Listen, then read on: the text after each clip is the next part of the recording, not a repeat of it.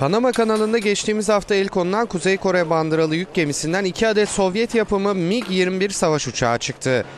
Gümrük yetkililerinin araştırması sırasında aynı zamanda iki füze radar sistemi de ele geçirilirken Panamalı yetkililer Birleşmiş Milletler'den Kuzey Kore'ye uygulanan ambargonun delinip delinmediği üzerine incelemede bulunması için uzman heyeti istedi.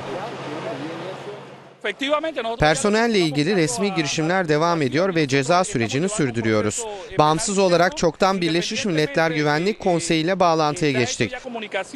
Uzmanlar Güvenlik Konseyi'nin uygulamalarına ters bir durum olup olmadığını inceleyecekler.